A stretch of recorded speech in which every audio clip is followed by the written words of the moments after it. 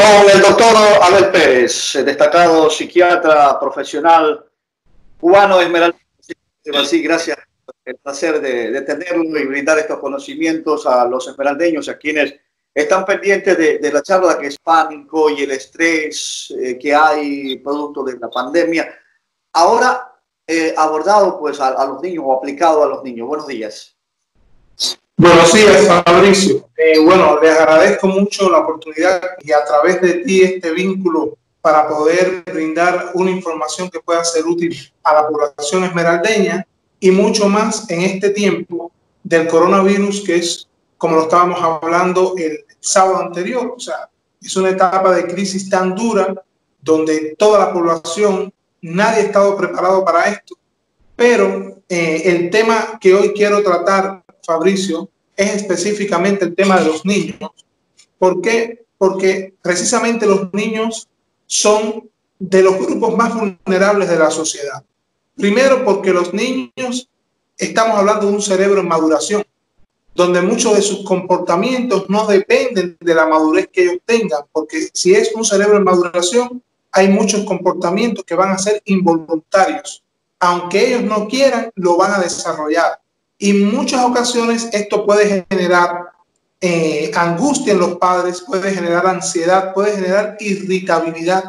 Y quizás la manera en que uno se dirige con los niños, eh, en qué manera, de qué manera nosotros afrontamos estos comportamientos de los niños, les puede generar angustia a los padres, pero sin darnos cuenta los podemos maltratar, los podemos dañar ¿Y por qué eh, creí que iba a ser bueno poder hablar de este tema? Porque estamos hablando de una circunstancia tan diferente y tan singular que posiblemente en Ecuador, en nuestro país, para que se vuelva a producir, pasen muchos años, ojalá y no venga más. Pero tenemos que estar preparados para saber cómo manejar esta etapa de aislamiento con nuestros niños en casa. Cuando no se manejan bien los estilos educativos ni se manejan bien en etapas emergentes como esta, la conducta de los niños o las preocupaciones que puedan tener los padres con relación a los niños o preocupaciones de ellos mismos, se generan vivencias en los niños tan negativas que pueden llegar a ser traumáticas. Y si son traumáticas ahorita en la niñez, esto después se traduce o se puede traducir en un trastorno que muchas veces puede no ser transitorio puede cronificarse y padecerse para toda la vida. ¿Sí? Entonces, ¿Qué más influye en estos momentos entonces en los niños ahí para crear ese trastorno? Primeramente, debemos tener en cuenta que los niños menores de 5 años, la actividad rectora es el juego.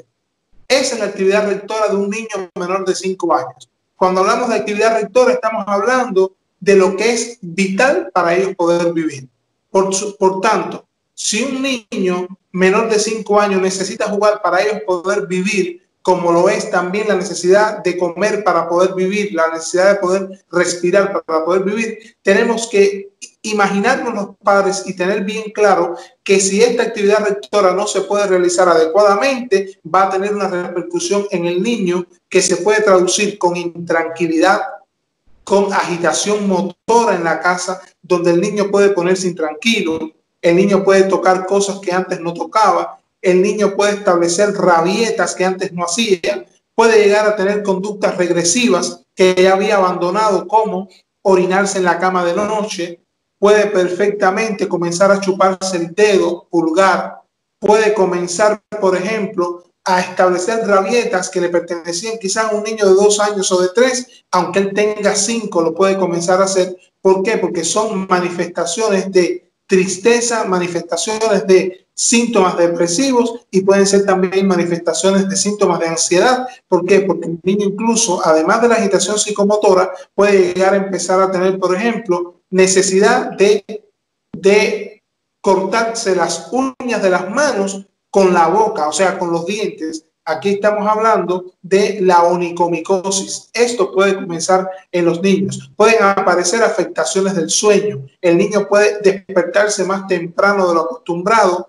Puede que se demore mucho para dormir. Eh, puede incluso interrumpir el sueño de madrugada porque aparezca un terror nocturno que donde el niño de pronto se despierta y se despierta con los ojos abiertos sudoroso, con piloerección, o sea, con los, los, lo erizado, como se dice normalmente, en el cuerpo, y los padres tenemos que llegar a pensar que si se, empieza, que empiezan a, a, producirse comportamientos de este tipo en un niño que no lo tenía es porque está existiendo algún grado de afectación por este aislamiento. ¿Qué hacer con esta situación? Lo primero que hay que hacer es tratar de los padres crear ambiente y espacios en las casas, independientemente de la situación que tengamos, que pueda ser favorable para los niños.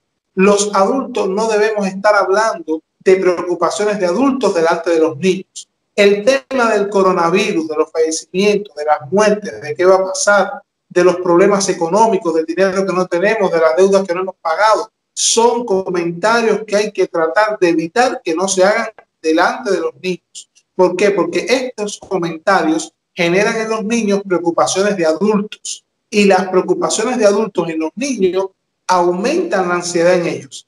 También es importante que los adultos, cualquier situación que vayan a debatir entre ellos, lo puedan hacer alejados de ellos, pero los adultos también tienen que entender la etapa evolutiva en la que se encuentra su niño. Si entendemos que el juego para el niño es fundamental de antes de los cinco años tenemos que tratar de crearle las condiciones para eso.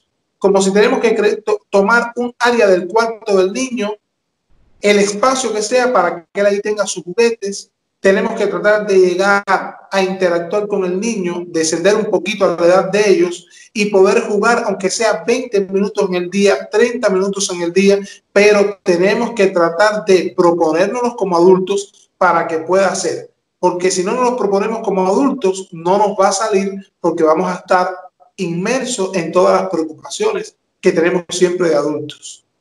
Doctor, frente a este cuadro, frente a este cuadro, los niños siempre tienen que estar haciendo alguna cosa, sea tarea, sea juego, pero hay que buscarle algo que hacer para eh, tratar de, de mediar la problemática. Así es, hay que tratar de buscar algo, hay que tratar de que ellos eh, puedan hacer algo, incluso son espacios importantes para poderle enseñar a los niños eh, a hacer cosas en la casa que a veces no tenemos ni el tiempo para enseñárselas.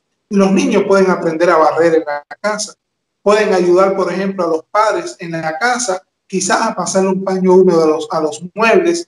Eh, los niños, por ejemplo, de alguna manera sencilla, le podemos enseñar por ejemplo, qué importancia tienen determinados tipos de alimentos para el organismo, podemos ver películas con ellos, podemos establecer juegos, por ejemplo, a veces estamos en la casa, ¿por qué no podemos jugar a los escondidos? Tenemos a veces dos niños y nunca nos percatamos que jugar a los escondidos dentro de la misma casa nos puede cambiar el día, nos puede cambiar la dinámica, ¿sí? A veces, por ejemplo, hay casas que son muy reducidas, que son muy pequeñas, pero hay que buscar la manera de generar espacios donde ellos se puedan sentir bien. Podemos darle hojas blancas para que los niños dibujen, podemos dibujar con ellos, podemos quizás jugar dominó con ellos si lo tenemos en casa, pero tenemos que buscar espacios que le ayuden a los niños a que independientemente de la pandemia y del aislamiento, su actividad rectora del juego, los niños tienen que llegar a identificar que es importante para los adultos. Ahora, importante también, cuidado cómo le llamamos la atención a los niños. O sea, es importante evitar los gritos. Es importante evitar pegarles. No quiere decir que en algún momento no va a pasar, porque somos seres humanos y en algún momento podemos perder el control, gritarles, podemos pegarles, o sea, puede pasar esto, pero sin sentirnos culpables debemos replantearnos cómo vamos a hacer. Debemos preguntarnos por qué mi hijo se está comportando así. Estoy haciendo yo como padre todo lo que debo hacer para que este ambiente a mi hijo se le haga diferente. Incluso yo les propongo hay una película muy interesante que se llama La vida es bella. Se llama así. La vida es bella. Yo le sugiero a las familias que la vean. Estamos hablando de un niño que tiene que vivir con su padre una etapa de guerra donde está todo el tiempo con su padre y el niño nunca se entera de que está en guerra por todo lo que hizo el padre para que el niño pudiera pasar este evento catastrófico sin que pudiera repercutir de manera traumática para él. Y esto puede ser de estímulo para que los padres vean que si esa circunstancia fue dura y la pasó, esta también se puede pasar diferente. Importante, Fabricio, después de los cinco años, tenemos que los niños, hasta los 11 años, de 6 a 11 años, la actividad fundamental del niño, la rectora comienza a hacer ya el estudio, pero no quiere decir que el niño no tenga necesidad de jugar. ¿Por qué? Porque después de los 6 años ya comienzan los juegos con reglas. Los juegos con reglas son los juegos donde los niños tienen la necesidad de jugar, pero que hayan, como dice la palabra, reglas. Para jugar a los escondidos tienen que haber reglas. Para jugar, por ejemplo, fútbol, tiene que haber reglas. Y estas reglas que uno empieza, que los niños empiezan a tener que ajustarse a ellas, les permiten ajustarse a reglas y normas, les permiten compartir con sus compañeros, les permiten hacerse respetar y respetar a los demás y respetar las reglas del juego para poder interactuar. Entonces, los padres tenemos que saber que como mismo la actividad rectora es el estudio y que esto quizás pueda ser una etapa para ayudarlos a estudiar, también tenemos que desarrollar espacios para que ellos puedan jugar un tipo de juego que tenga reglas. Por ejemplo, quizás no tenemos dama en la casa, pero podemos crear un tablero de damas en la casa y podemos crearlo con un cartón, como si tenemos que crearlo con un papel dibujado. Y crear las fichas pueden ser botones, puede, cualquier, el, el tema es buscar qué hacer con nuestros hijos. Hay muchas películas en la televisión que son películas que pueden distraer a, a los niños. Hay una, por ejemplo, que se llama, eh, creo que se llama Mía y el León Blanco. Por ejemplo, son eh, eh, películas de género aventuras que uno puede compartir con ellos sin ningún tipo de dificultad.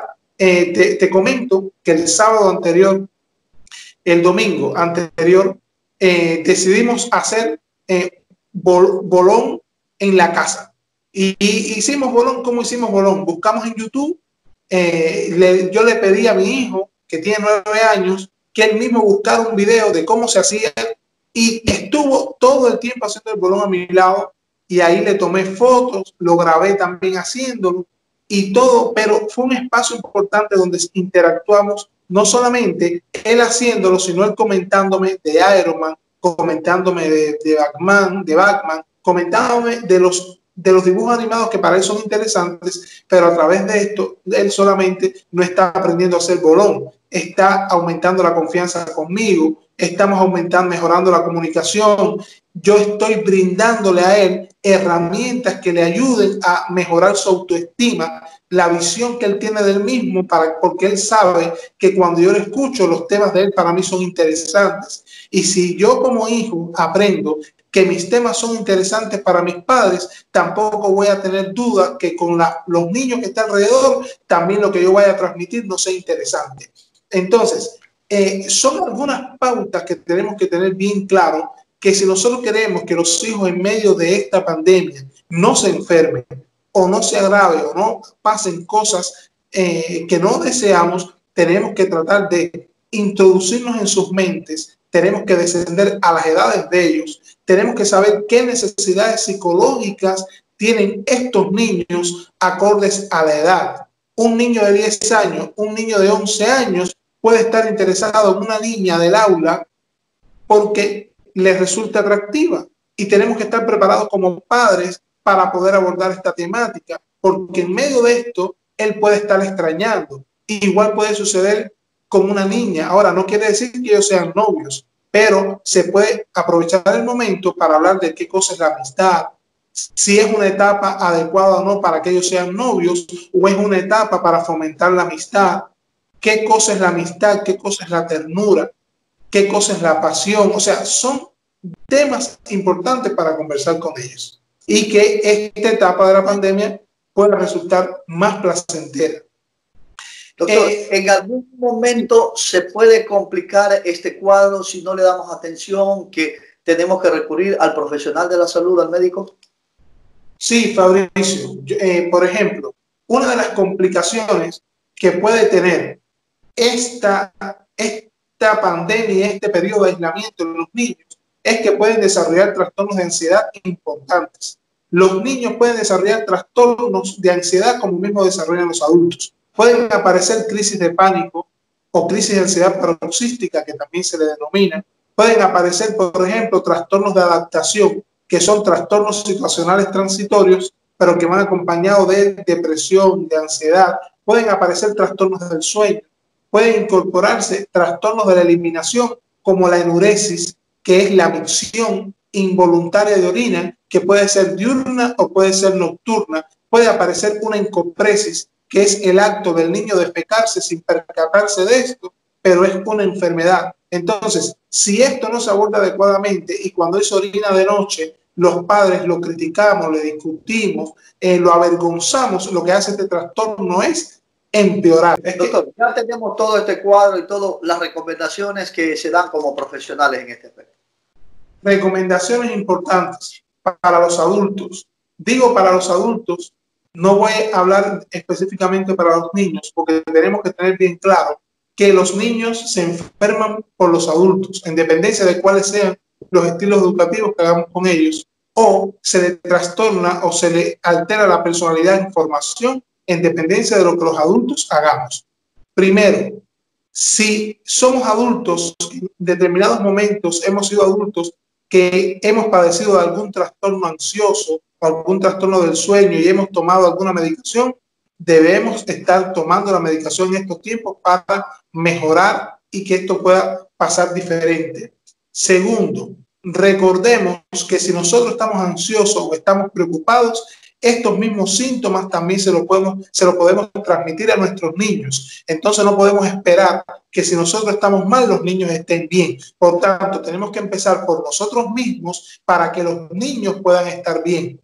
Importante, adultos, lo que suceda ahorita en la pandemia es una cosa tan eventual que pueden aparecer comportamientos eventuales. Tengamos paciencia, desarrollamos paciencia para poder tratar con amor a nuestros hijos. Si en algún momento le hemos gritado o si en algún momento le pegamos, nosotros tenemos que también estar preparados para pedir disculpas. Hay adultos que creemos que no tenemos que pedir disculpas. Como mismo nosotros enseñamos a los hijos que nos pidan disculpas para que reconozcan sus errores, nosotros los adultos también debemos hacerlo para que ellos aprendan a partir de nuestro ejemplo. Existen cuatro características específicas que tienen que tener un, un estilos educativos adecuados. Uno es el amor.